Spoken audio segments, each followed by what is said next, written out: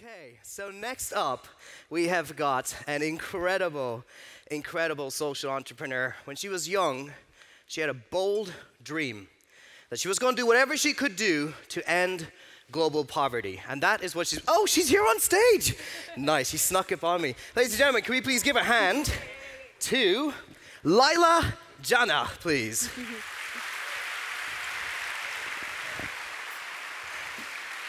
Excellent. Super. So, I noticed as you walked up on stage, you have a tattoo on your hand. That's right. Can you show us the tattoo and what does it mean? Uh, it says Sama, which means equal in Sanskrit. Okay, equal in Sanskrit. Yeah. Excellent. So, um, I have to say, it feels kind of awkward to wear traditional Bavarian garb with another Indian person on stage. we, We're probably the most brown Bavarians. what, what do you in think, by the way? Just real quick, what do you think? Are we pulling it off? Is this working? Okay. Excellent. So what's going to happen is we're going to have a quick Q&A for those of you who are interested in social enterprise more than just charity and the new models. In fact, the title of this talk is Traditional charity is dead.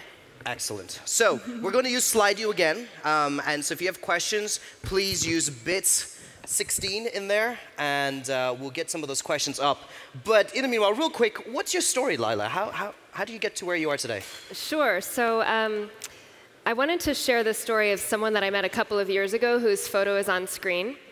His name is, uh, is Ken Kihara. And when I met him, he was living in a place called Mathare, which is a, is a vast slum uh, just in the middle of Nairobi in Kenya. And this is the sort of place that you could only imagine in a post apocalyptic world. It's hard to believe that Mathare actually exists. And if we can flip to the next picture right after this one, I can show you what it looks like. So, Ken um, had been orphaned in this slum when he was a young boy. His mother and seven of her nine siblings had died of multi drug resistant tuberculosis. And he was stuck living there and, and, somehow managed to get a scholarship to attend one of Nairobi's best high schools. So he actually finished high school. And when I met him, Ken was so articulate, he could read and write beautiful English. And I asked him what he'd been doing for a living, and he told me, Well, there are no jobs for people like me. I was living in this slum and I was having to pick bits of metal out of this river. It's kind of a euphemism to call that a river, but that's a, basically a large open sewer. He was picking bits of trash out of the sewer and selling them to the local recycler to make about $2 a day. And there are a billion people around the world who live like Ken. Yeah. And so, about uh, eight years ago, I was motivated to try to solve this problem, and I founded an organization called Samasource, which connects very low income people to work over the internet. So we train people just like Ken to do tasks on computers um, in their communities, and the tasks are for major corporations, companies like Microsoft, Google, uh, LinkedIn, and a lot of the tasks that, that they're doing are in the field of machine learning.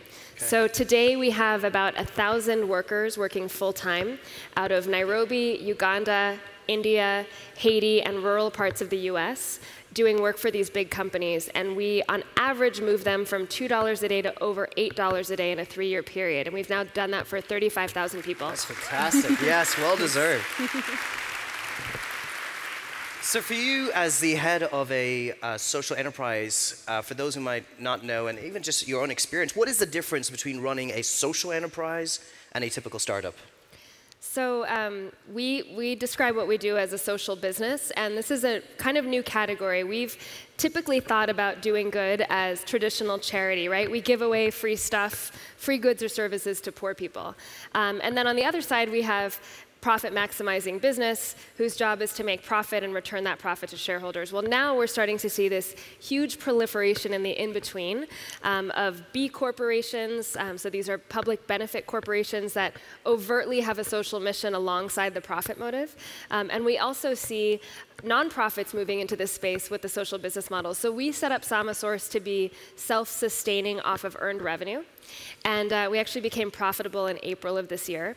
But we can't distribute dividends, so nobody has any equity in the company. So it's almost as if a foundation owns a business, is I guess how you would structure it here in Europe. And to me, this is the future of social impact because everyone has aligned incentives. And why do people, why do big companies uh, engage with you? Is it to do good, or is there some strategic moves for their own business?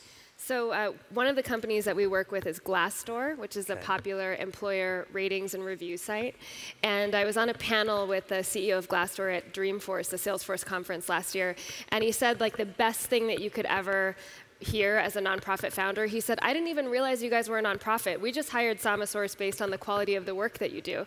And I almost like stood up and hugged him. Thankfully, we got that on video. Um, but most of our clients find us through referrals, um, uh, or they, they meet a member of our sales team and they learn about us that way. And it's only after they start doing business with us that they understand that we have a social mission. So the story that I just told you about Mathare is not what I would tell a, a potential customer. Okay. Um, and we find that the social mission isn't what drives drives them initially to us, but it's what makes it sticky. And we see that in, in many social, uh, socially motivated companies. Now, the refugee crisis is something uh, that is important globally. What's in the Samasource model do you think can be applied to addressing that issue? I'm so glad you asked. So, several years ago, uh, we did a pilot in Dadaab refugee camp, which is one of the largest camps in the world. It's on the border of Kenya and Somalia, and it houses about 800,000 people living in, in really abject poverty. I had read about this uh, camp and read that a nonprofit had put computer labs in the camp. And I heard that people were actually taking remote university courses for schools in the UK. And I thought if, if we had a refugee population that was capable of taking these courses, maybe we could figure out a way to teach them to do work for big tech companies.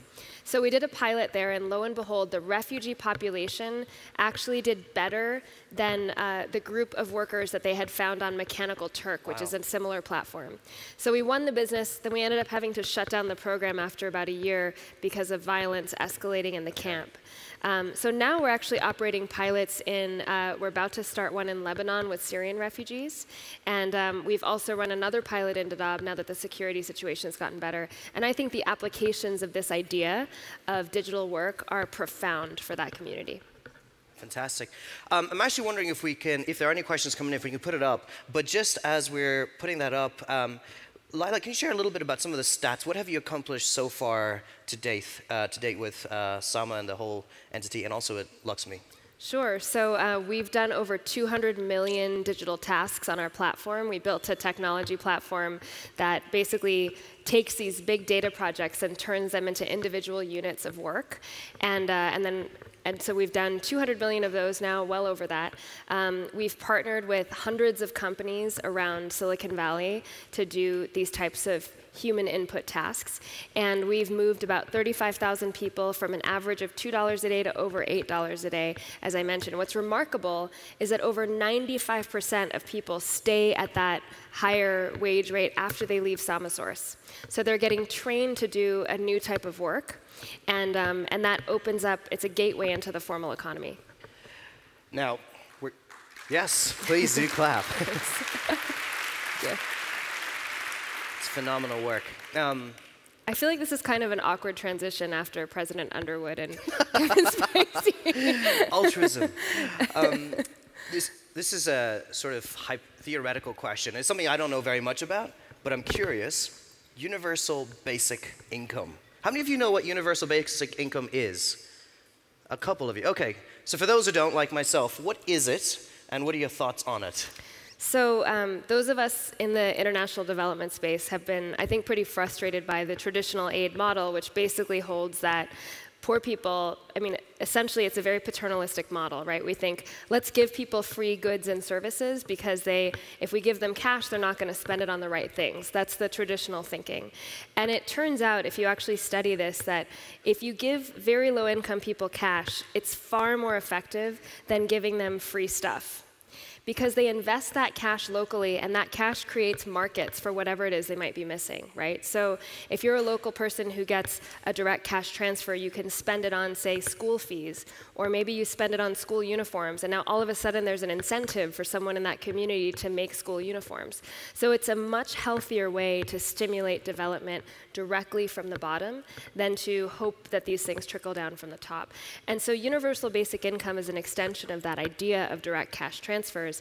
And I think it's the only thing other than work. Work is obviously preferable. It's the best way to get people an income. But if they can't get the income through work because, say, technology eats their entire industry, then uh, basic income is a really great alternative. And it's being piloted now in many communities in Europe, and there's even a pilot going on in the US. It's fantastic. Um, I know backstage you were telling me a little bit about some of the recent milestones with distribution, but I was wondering if you could share with the audience how you got distribution for Laxmi. Right. So, uh, so I've been running Samasource for eight years, and when we became profitable this year, I got a little bit more permission from my board uh, to try new things. So I set up a, a new company called Laxmi, LXMI, and it's a new beauty brand that's devoted to taking fair trade and organic ingredients to the luxury market. So I've been frustrated that so many of these amazing natural products that are harvested by people not so dissimilar from Ken, people living in poor communities around the world, they end up making it into beauty products that end up at a natural foods counter or in a mass market kind of retail environment. And the woman who buys creme de la mer or Dior, I'm looking around and I don't see as many women as, as men in this audience. Maybe we have about 25%, 30%, but the women in the audience probably know what I'm talking about. Um, you see all of these expensive skin creams at duty free, and if you look on the back and read some of the labels, you'll be horrified by the things that they include. Um, things like petroleum based products and things that are definitely not good for you or good for the world. And I thought, what if we could take a truly good for you and good for the world product, but package it beautifully and get it on luxury counters. And so that's what Laxmi is all about. And this year, actually just last week, I flew in this morning from um, Philadelphia. We launched on QVC, which is the largest home shopping network. I think in the world it reaches 100 million households. Amazing. And we launched at, uh, thank you, at uh, Sephora stores nationwide in the U.S. And this is the first time an overtly social impact brand is launching at Sephora. So let's give a hand for that. That is incredible. thank you. I hear, I hear a rumor, and again, if we can put those questions up, I hear a rumor that you might have eaten your product to prove? Oh, that's right. I yeah, I should tell that story. Is that true? Um, so, have you guys seen the movie Joy? Have you has anybody heard of that movie, Joy? Um, it's a movie about a woman who gets her product on QVC on these shopping channels, and uh, and so usually you you have to do kind of audacious things to get people to want to buy your product and to get this, the merchant team to let you on air. Uh, to sell your product. So I had a jar of our Nilotica, which is this rare type of East African shea butter. And to prove the point that it was really good for you, I served truffles in the meeting that were made out of the ingredient. And as the merchant team was eating the truffles, I said, Guess what? You're eating our skincare. And they were no like, way. What? And then I, I, took a spoon out and I ate a scoop of the, of the cream in front of them. And, uh, and they were like, You have to do that on TV. So unfortunately, the, the legal team didn't let me eat the product on TV. I love how out of the box uh, you are with your thinking as to how to push this. And there's some questions actually that are a little bit out of the box. And I'm just going to combine the first and the last question here. For, for those in the Bitcoin industry and for those in the news industry, how can they link up with charities? Sure. So um, I think the Bitcoin industry question is really interesting um, because there are so many barriers. I mean, the reason that poor people are poor is not, as some politicians would have us believe, that they're lazy and not working hard enough. The reason that most people are living on less, you know, most of those billion people that I mentioned, the reason that most of them are living on less than $2 a day has to do with structural problems in the market, right? Uh, market inefficiencies that make it very hard to reach them, that make it very hard for them to contribute meaningfully to the global economy.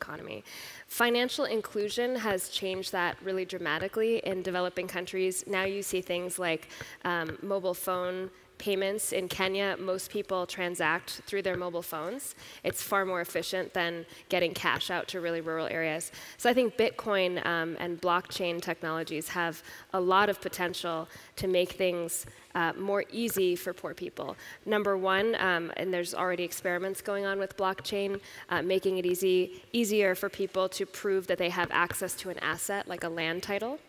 Um, and I think Bitcoin could be used to, um, to transfer payments to low income people much more easily and avoid the, the pain of remittances and, uh, and the cost of remitting money through traditional systems. Okay, very good. And what about for new startups? Um, a Bitcoin person in the audience somewhere. um, for news startups and how to link up with charities. So again, I, I, would define what we do as something very different from traditional charity. And um, I think that there are some really, uh, really interesting opportunities for new startups to have a social enterprise model. Um, so one of those uh, ideas could be including low income people somewhere in your value chain. So, one of the most interesting uh, organizations I've seen in the US works in rural communities, and they, um, they train low income people from those communities to tell their own stories as a supplement mm-hmm. to, uh, to the traditional news. So, even thinking about how you might reach into a community that's very different from where your typical news anchors might come from or your journalists might come from, so that people can tell their stories authentically. Um, there's another nonprofit that does that in Kenya. So, 60 seconds, final question. What can we do as entrepreneurs and founders in this room to go beyond the charity approach and the typical charity model? 60 seconds.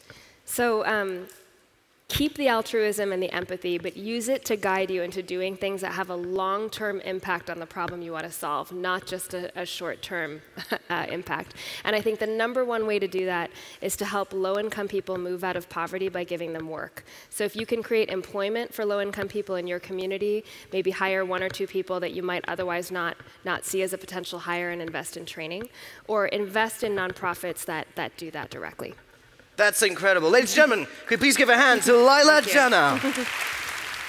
Thank you so much. Thank you. All right.